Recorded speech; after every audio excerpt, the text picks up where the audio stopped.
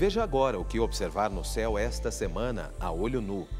No início da noite, podemos ver o planeta Marte na direção oeste, na constelação de Capricórnio. Ele fica visível até às 10h30. De madrugada, aparece Júpiter a leste, a partir da meia-noite na constelação de Leão, e pode ser observado até o amanhecer. Na madrugada de 12 de dezembro, a lua minguante fica ao lado de Júpiter. Quem volta aos céus esta semana é o planeta Saturno, que pode ser visto antes do amanhecer, a partir das 5 e meia, a leste, na constelação de Libra. Esta é a semana da chuva de meteórios Geminídeos, a mais intensa do ano. Para observá-la, olhe para o céu na noite de 13 para 14 de dezembro. Procure pela constelação de Gêmeos, que aparece a leste a partir das 11 horas. Em um local escuro, dá para ver dezenas de meteoros ao longo da madrugada.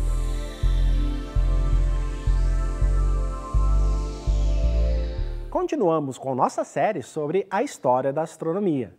Hoje vamos falar sobre um importante astrônomo que tem uma carreira muito curiosa, William Herschel. Herschel nasceu em Hannover, na Alemanha. O pai dele tocava oboé na banda militar da cidade, e o jovem William o seguiu, Aprendeu a tocar cravo, violino e órgão, além do oboé. Em 1757, o pai mandou Herschel para a Inglaterra. Queria evitar que o filho fosse para o exército. Lá, ele trabalhou 15 anos como músico, em orquestras e igrejas.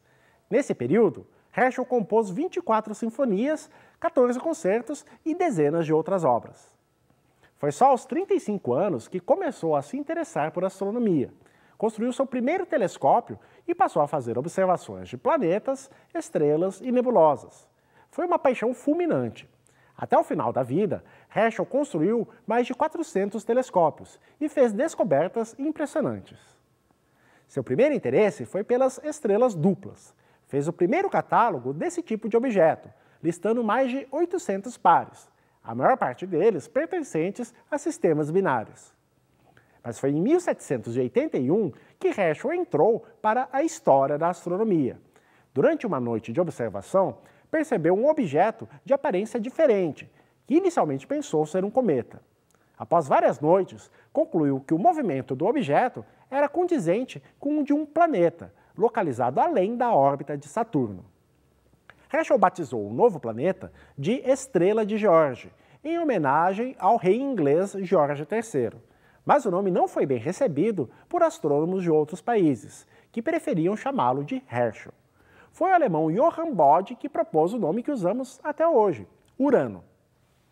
Herschel também descobriu as duas maiores luas de Urano, Titânia e Oberon, e também duas luas de Saturno, Encélado e Mimas. Outra contribuição importante de Herschel foram catálogos de nebulosas e aglomerados, que classificaram mais de 2.400 objetos. Para este trabalho, ele contou com a ajuda de sua irmã Caroline e de seu filho único, John Herschel, que seguiria a carreira do pai.